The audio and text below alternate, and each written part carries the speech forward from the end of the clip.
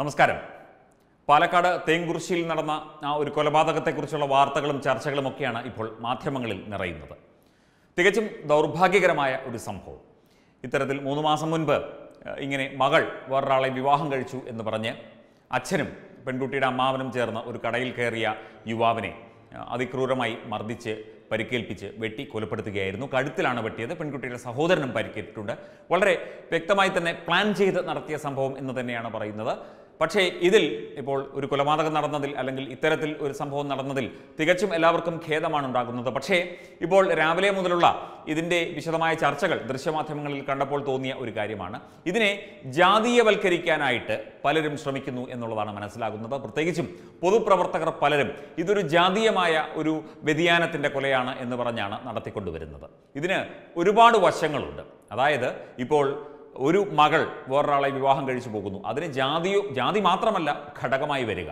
ചിലപ്പോൾ ഇവർ തമ്മിൽ മുൻപ് വ്യക്തിവൈരാഗ്യം ഉണ്ടായിരുന്നിരിക്കാം. അല്ലെങ്കിൽ വ്യക്തിബന്ധങ്ങളിൽ എന്തെങ്കിലും പാളിച്ചകളോ വിരോധമോ എന്തെങ്കിലും വഴക്കോ കാര്യങ്ങളോ സ്വത്ത് തർക്കം വരെ ഉണ്ടാകാനുള്ള സാധ്യതയുണ്ട്. അപ്പോൾ അത്തരത്തിലുണ്ടായിരുന്നായിരിക്കാം. ജാതീയമായി ഇവർ തമ്മിൽ വലിയ വിവേചനമൊന്നും ഉണ്ടായിരുന്നു എന്ന് നോക്കിയിട്ട് അതിന്റെ കാര്യങ്ങൾ പരിശോധിച്ച് നോക്കിയിട്ട് നമുക്ക് മനസ്സിലാകുന്നില്ല.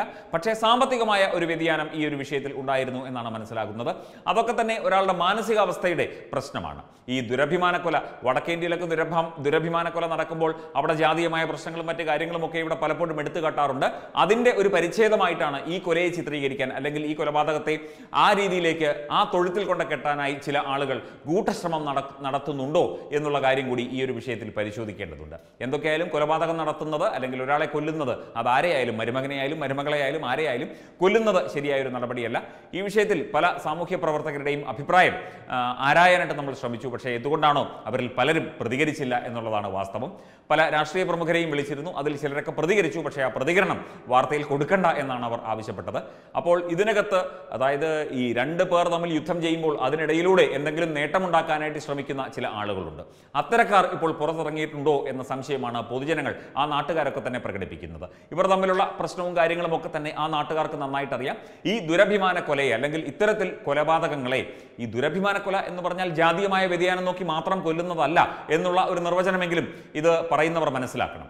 അതായത് പണം പണവുമായി ബന്ധപ്പെട്ട വ്യത്യാസങ്ങൾ അല്ലെങ്കിൽ സ്വന്തം കുടുംബത്തിന് ചേരാത്ത വിദ്യാഭ്യാസപരമായ വ്യതിയാനങ്ങൾ. ഇപ്പോൾ പയ്യൻ അധികം വിദ്യാഭ്യാസമില്ലാത്തയാളാണ് പെൺകുട്ടി നല്ല പഠിപ്പുള്ള കുട്ടിയാണ്. അപ്പോൾ തികച്ചും മാതാപിതാക്കൾക്ക് ഇത്തരത്തിലുള്ള ഒരു ദുരഭിമാനം തോന്നാം. അത് സ്വാഭാവികമായ ഒരു മാനസികാവസ്ഥയാണ്. അപ്പോൾ ഇതിനെ ഒരു മാനസികാവസ്ഥയുടെ തലത്തിലൂടെ അല്ലെങ്കിൽ ഒരു സാമൂഹ്യാവസ്ഥയുടെ തലത്തിലൂടെ വേണം കാണാൻ.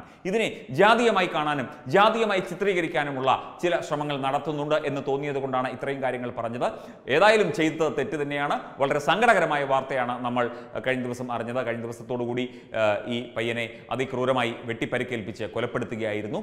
മാത്രമല്ല ഈ പയ്യന് പല പല പല ഭീഷണികളും ഇയാൾ ഈ അച്ഛനും അമ്മാവനും ചേർന്ന് ഇയാളെ കൊല്ലുമെന്ന് പലപ്പോഴായി പറഞ്ഞിരുന്നതായി പെൺകുട്ടി തന്നെ ഇപ്പോൾ വെളിപ്പെടുത്തിയിട്ടുണ്ട് പോലീസിനോട്? അപ്പോൾ എന്താണ് കാര്യം എന്ന് വിശദമായി അന്വേഷിച്ചതിന് ശേഷം മാത്രമേ അതിന്റെ ആ ഒരു നടപടിക്രമത്തിലേക്ക് എത്താൻ സാധിക്കുകയുള്ളൂ. അതിനു മുൻപ് തന്നെ ഇതിനെ ജാതീയമായ ഒരു കൊലയായി ചിത്രീകരിച്ച് കേരളത്തിലെ മതേതര സമൂഹം എന്ന് അവകാശപ്പെടുന്ന കേരളത്തിൽ ഇത്തരം ജാതി ചിന്തകൾ ഉണ്ട് എന്ന് പറഞ്ഞുകൊണ്ട് അതിനെ ആ രീതിയിൽ പൊക്കിപ്പിടിച്ച് കാണിക്കാൻ ശ്രമിക്കുന്ന ചില ആളുകളെങ്കിലുമുണ്ട് ചില സംഘടനകളെങ്കിലുമുണ്ട് എന്നുള്ള കാര്യം നമ്മളൊന്ന് മനസ്സിലാക്കിയിരിക്കുക.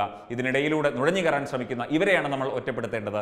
ഇത്തരം അഭിമാന കൊലകളായാലും ദുരഭിമാന കൊലകളായാലും ഒന്നും കൊലപാതകമൊന്നും ആരുടെയും ആർക്കും ചെയ്യാൻ പറ്റുന്ന ഒരു കാര്യമല്ല. ഇവിടെ ഇതിന് നീതിന്യായ സംവിധാനങ്ങളുണ്ട്. ആർക്കും ആരെയും കൊല്ലാമെങ്കിൽ ഇവിടെ എന്തും നടക്കും? ഇപ്പോൾ മകളുടെ ഭർത്താവിനെ ഇഷ്ടമല്ല എങ്കിൽ പോയി വെട്ടിക്കൊല്ലാനാണെങ്കിൽ ഇവിടെ എന്തെല്ലാം നടക്കണം? ഇതൊന്നും ഒരിക്കലും അനുവദിക്കാൻ പറ്റുന്ന കാര്യമല്ല. ഏതൊരു സാമൂഹ്യ പശ്ചാത്തലത്തിലും ഇതൊന്നും അനുഭവിക്കാൻ അനുവദിക്കാൻ പറ്റുന്ന കാര്യമല്ല. ഇതിനെതിരെ ശക്തമായ നടപടി ഉണ്ടാകണം. ഇത്തരം കാര്യങ്ങൾ ആവർത്തിക്കാതിരിക്കാനുള്ള ഒരു സാമൂഹ്യ അവബോധം ഒക്കെയാണ് വേണ്ടത്. അല്ലാതെ എല്ലാത്തിനെയും ജാതിവൽക്കരിക്കാനും മതവൽക്കരിക്കാനും ശ്രമിക്കുന്ന അവരുടെ ഇടയിലേക്ക് ഇത്തരം കാര്യങ്ങളെ കൊണ്ടെത്തിക്കാൻ ശ്രമിക്കുന്നത് അത്യന്തം കഷ്ടകരമാണ് എന്ന് മാത്രമേ നമുക്ക് പറയാനുള്ളൂ.